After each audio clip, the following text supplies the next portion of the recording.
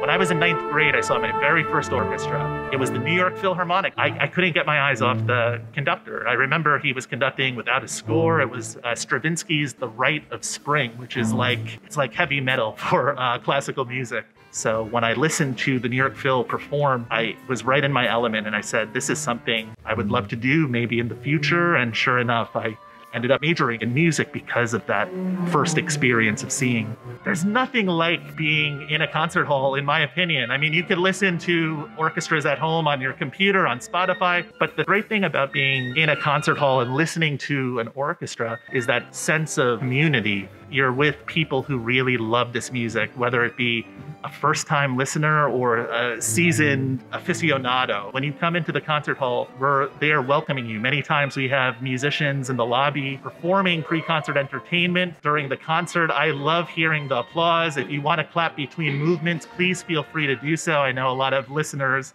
or audience members who go to concerts don't always do that, but I encourage it. I want to hear your excitement and your your love of this music. And then after the concert, I love going into the lobby and saying hi to everyone and getting to know people and hearing what they thought about the concert. I can't wait to have our audience back together.